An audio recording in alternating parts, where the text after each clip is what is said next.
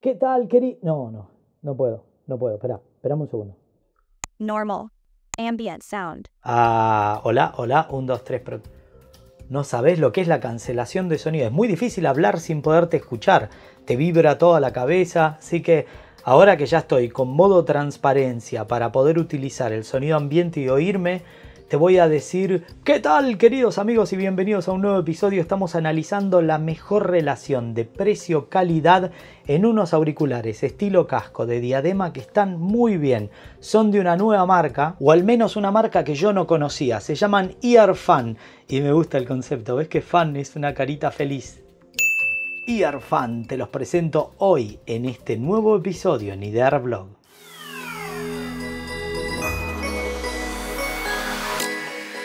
Bueno, vamos a comenzar con una estructura porque me parece que es muy importante que entendamos los puntos. Los auriculares Earfan Wave Pro tienen un análisis que va a depender del enfoque en el que le demos en este episodio, porque tenés que comprender que es muy difícil contar una experiencia cuando vos no lo podés oír. Entonces, te lo voy a analizar primero en base al precio. Lo segundo, el aspecto y la presentación global, fundamentalmente desde el punto de vista de los soportes y de lo que incluye. El tercer punto es la calidad específica que tiene el sonido y todo lo que puede brindar. El cuarto, ya que son auriculares con cancelación activa, cómo funciona la cancelación y el último, que me parece importantísimo, la experiencia de la aplicación que incluye. Pero el primer punto es esencial para este análisis. Porque claro, cuando vas a comprar un producto, sí o sí, el punto clave para analizar es la relación de precio-calidad. No siempre un producto cuyo valor es más caro da una mejor experiencia, pero muchas veces un producto a un valor menor te brinda una experiencia superior a la diferencia de precio. ¿Se entiende? Te doy un ejemplo. En este caso te comparo dos productos. En realidad voy a comparar más de dos productos, pero dos son esencialmente el Earphone Wave Pro con el Sony, el XM4 o incluso el XM5. Pero tenés que tener en cuenta que el Sony XM5 tiene este valor que estás viendo en Amazon. En la misma tienda, el XM4, este que estoy utilizando y que te voy a mostrar ahora, tiene este otro valor. En cambio, el Earphone cuesta 80 dólares, 79,99. Y para que sepas, en esta parte que estás viendo se puede aplicar un cupón del 20% y en Idearblog tenemos este código este que estás viendo. O sea, sí, me doy cuenta, es un código bastante complicado, así que hacele copiar y pegar, lo puse en la descripción para que sea más fácil. Pero con este código ganas un 5% extra en el momento del pago de tu carro. Por lo tanto, cuesta 59.99. Así que para que te quede claro, vamos a estar hablando en relación al XM5 a este valor, al XM4 a este valor y al Earfan Wave Pro a este valor, 60 dólares.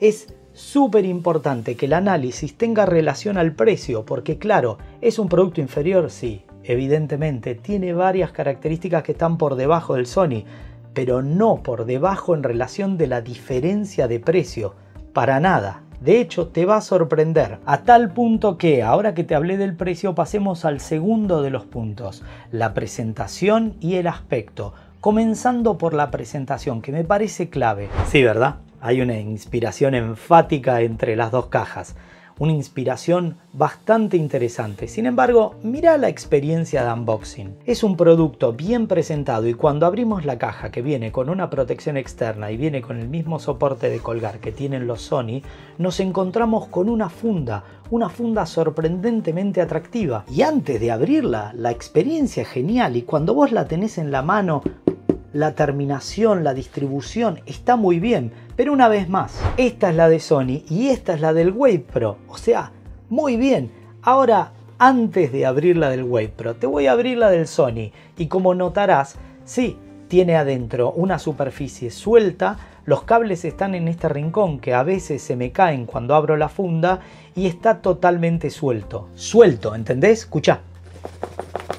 ¿Se entiende? Está suelto en la unidad lo cual no es muy grave, pero es algo que siempre en mi mochila cuando estoy de viaje escucho ese ruido y digo, ay, ojalá que no se golpeen lo suficiente. En cambio, continuamos con el unboxing y fíjate, el Wave Pro tiene una superficie rígida, los cables están en este borde lateral y los auriculares, es decir, el casco vienen embutidos en esta superficie que convenientemente te indica el oído izquierdo y el oído derecho con una L y una R por left and right para que lo puedas poner de la manera adecuada. Ahora bien, continuemos con el aspecto. Está muy bien, mira qué buena terminación, los soportes, el concepto global visual es muy atractivo y debo decirte que tenerlo en la mano muestra un producto muy bueno con un interior metálico, escucha, funciona muy bien, la rotación es muy buena y tiene algo que muchos no lo permiten y a mí me parece muy útil, que es esto.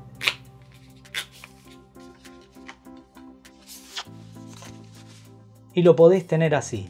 Algo que en el tiempo a mí me ha resultado muy útil para participar de conversaciones. Y si no, directamente los volvés a acomodar en tu cabeza y quedás así, muy confortable. Las superficies de las almohadillas son viscolásticas, realmente confortables y tienen la resistencia y el efecto memoria adecuado para que se sienta muy bien. Ahora tenés que tener en cuenta, te hablé de una inspiración enfática con los Sony, Fíjate, te voy a mostrar cómo son los Sony y cómo son los Wave Pro. ¿Notás? Estos son los Sony y tienen el aspecto, la rotación, la terminación, el borde. Y estos son los Wave Pro, que tienen un aspecto realmente similar. Fíjate, está muy bien. En relación a los controles, la superficie del Sony es en uno de los laterales táctil con dos botones físicos. En el caso del Wave Pro tiene todos los botones físicos y no tiene superficie táctil, que en mi caso con lo torpe que soy que lo toco, lo he valorado bastante.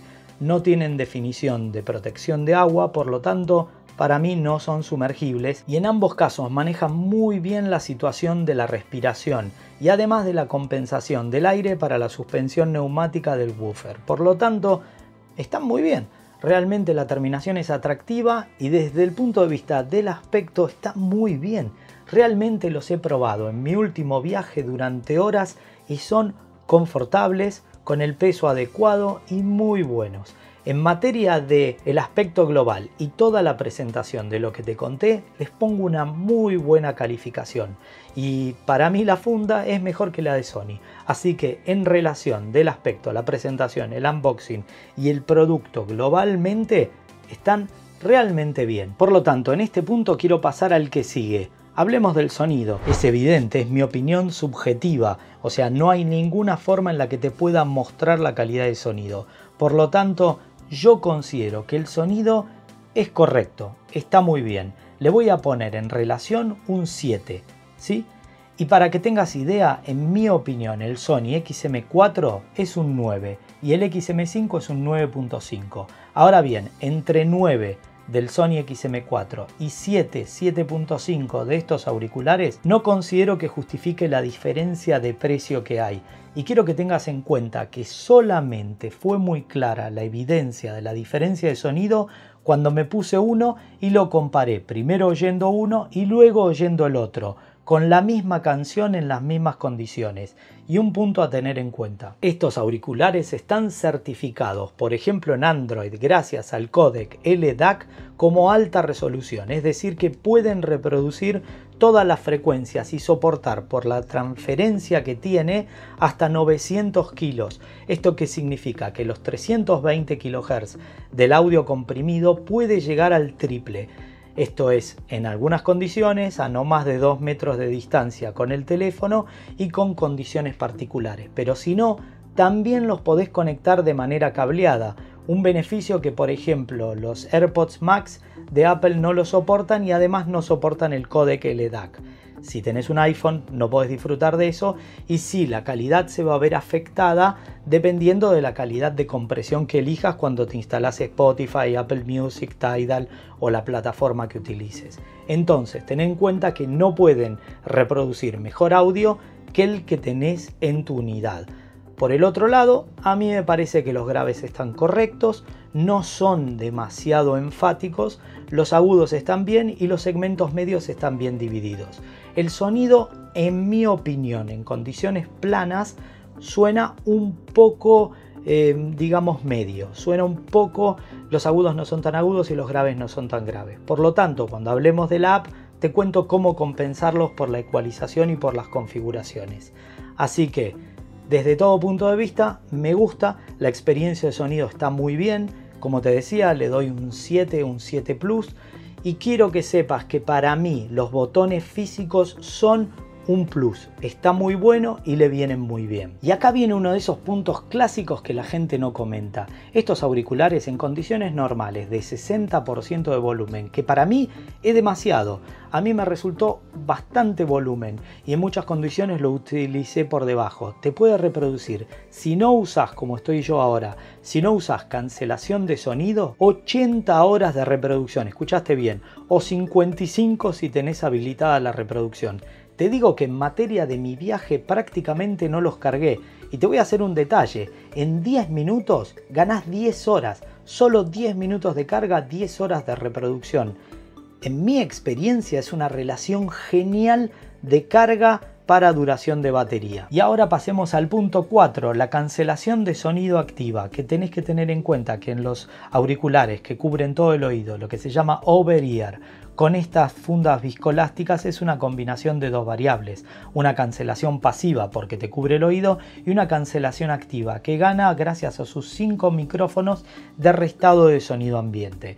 La cancelación funciona con varios niveles y realmente en mi opinión es sorprendente. Ahora bien, el algoritmo de cancelación de sonido Quiet Smart, que en este punto está en la versión 2.0, funciona increíble y lo hace analizando el sonido ambiente con los cinco micrófonos que toman cada uno de los puntos posibles y lo restan la frecuencia, llegando hasta 45 decibeles. De esa manera tenés una experiencia que no afecta el sonido que estás reproduciendo dentro y está realmente muy bien. Mira, te voy a decir algo. Hablar por teléfono o cualquier comunicación en una zona de alto sonido es una experiencia muy mala para el que escucha del otro lado.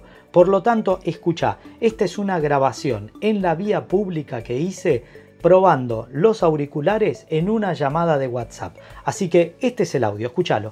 Probando, probando un 2, 3, así es como se escucha del Wave Pro. ¿Qué opinas? ¿Cómo se oye?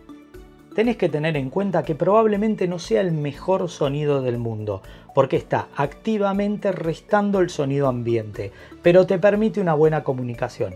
Para una grabación profesional como esta, con un micrófono carísimo y una grabación en condiciones de sonido aislado, evidentemente vas a ver que ese, esa voz que acabas de escuchar no está tan buena como esta, pero claro, fue grabada en condiciones externas. Por lo tanto, para una llamada podés llevarla adelante de una manera bastante buena y el algoritmo de cancelación de sonido ambiente va a trabajar en medida de que haya más ruido ambiente. Si estás en un lugar un poco más silencioso se va a oír mejor. Eso es muy importante y me parece una demo muy valiosa. Una de las grandes sorpresas fue la app me pareció increíble y como podés ver la app es súper intuitiva y se conecta directamente previo a lo que es el pairing por Bluetooth, que simplemente lo que haces en tu teléfono es habilitar el Bluetooth, yo tengo varios dispositivos conectados y como verás en este momento tengo conectados los Wave Pro. Hay un detalle que quiero que tengas presente, cuando estás trabajando en la app, fíjate en este caso, algo muy bueno es que te actualiza el firmware con novedades de los auriculares. Para eso tenés que tener al menos el 30% de batería y no cortar el proceso. Así que muy bueno, ni bien abrí los auriculares y me instalé la app, que te recomiendo que lo hagas inmediatamente, actualizalo para que tengas la mejor experiencia posible. Volviendo a la app, mira, tengo las unidades, que está muy bien, podrías tener más de un producto de esta marca, de Earfan, podés descubrir todo lo que podés hacer y tiene una sección para ruido blanco en el cual tenemos por ejemplo olas, una fogata también. Recuerda que el ruido blanco lo que busca es que no te distraigas y que te quede acompañándote. Escucha una fogata. Una lluvia, un rainfall bastante delicado, escúchalo. O incluso unos aves, unos pájaros que te acompañan. Escucha. En mi opinión lo podés tener, lo podés poner a un volumen muy bajo y te acompaña. Y por último, toda tu información personal. Pero volviendo a la unidad, simplemente al conectar tenés en la parte superior la información de la batería que tiene, que es increíble, dura un montón, como te decía, 80 o 55 horas. El nombre que le das y todos los tipos de eh, sonido por el cual puede cancelar el sonido ambiente y tener una aislación total. Yo ahora lo tengo con sonido ambiente porque si no no me podía escuchar como al principio.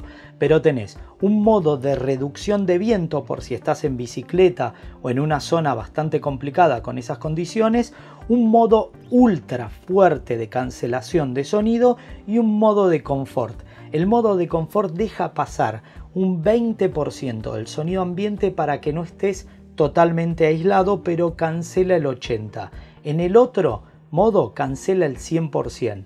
Yo te lo recomiendo para zonas altamente ruidosas. En el caso del avión, lo que usé fue el modo total y estaba totalmente aislado y era muy bueno.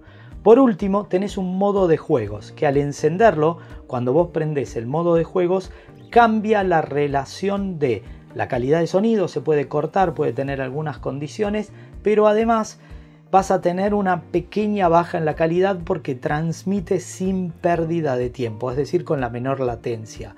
Eso es porque vos necesitas estar muy conectado.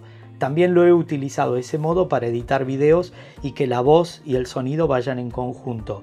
Y después podés customizar, es decir, configurar todos los botones físicos en cada uno de los casos para el botón de más, para el botón de menos o para el de cancelación que incluso lo podés configurar para el modo juego o para el asistente de voz, ¿sí? que tengas, ya sea Siri, Google, el que vos tengas.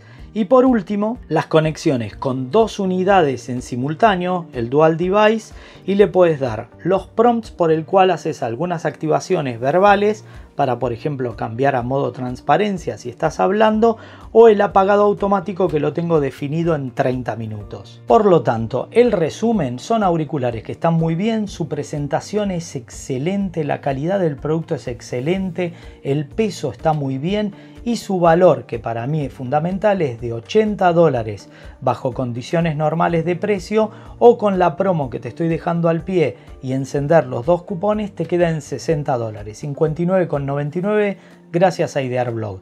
En materia de 60 dólares, estos auriculares es una gran compra. Así que es evidente que espero que te haya gustado y ya sabes si te gustó dale like, si no dale like en signo enfático de protesta, suscríbete, activa esa campanita y decirle a todos tus amigos que es obvio, el tío Fabián te trae videos, ofertas, promociones y productos que tal vez no conocías. Nos vemos en más episodios.